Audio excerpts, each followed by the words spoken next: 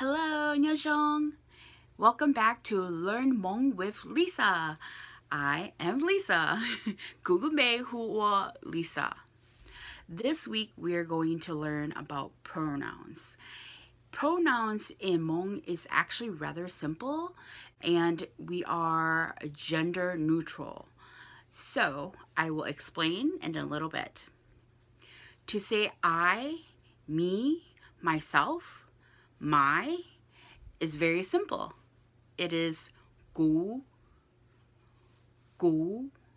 Think of it as a K and a little bit of a G. Uh, very similar to the Korean K or G.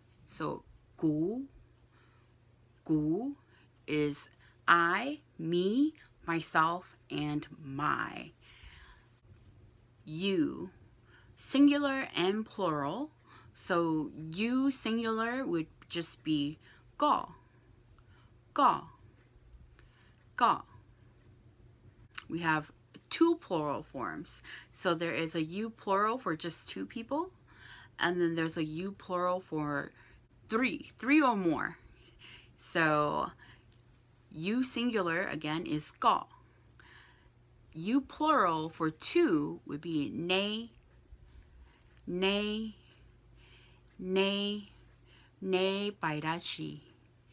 Typically, you're asking this to the person who, or people who are there. Um, you wouldn't use ne if they weren't in the room.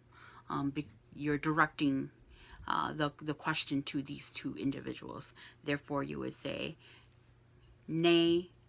Um, the next word is also you plural, but party of three or more, and that is nay. Nay. Nay. Same word, different pitch, um, and shorter. So nay and nay. So nay, norachi. Nay, norachi is still the same, but the, the, the meaning is just a little different. It's understood that it's more than two people now. And so if you have three kids who are all eating something at the table, you would say ne norachi instead of ne norachi. Ne is only referring to two people. So that's just a little bit of um, uh, technicality that um, you'll have to pay attention to. We also have gender neutral pronouns. So he, him, his, she, her, hers are all one word, which is nu, nu, nu. It could also mean it, referring to animals. Um, trying to think what else. Um, usually animals. For we, the word is be, be, be. Fun fact, it also means the number three. So let's try to use these in a sentence. Gu lumbe huo Lisa. Gu lumbe huo Lisa. Gunia lumbe huo ki. Gunia lumbe huo ki. Có bùa nhẹ cú. Có bùa nhẹ cú. Có lumbe hulija What is your name? Có lumbe hulija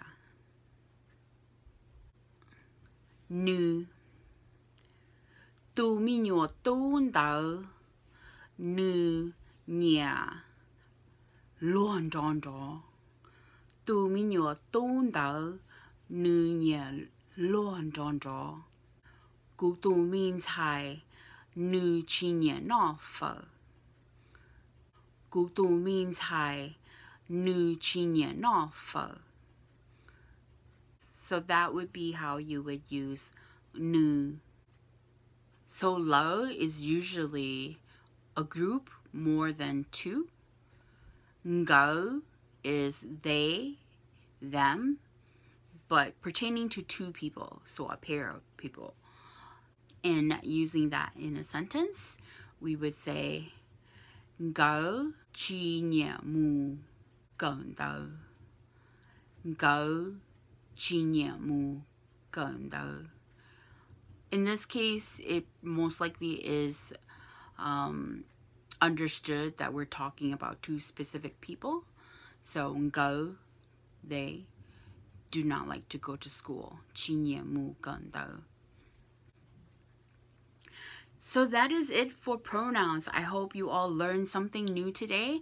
And if you have any questions, definitely leave me a comment and I will get back to you as soon as I can.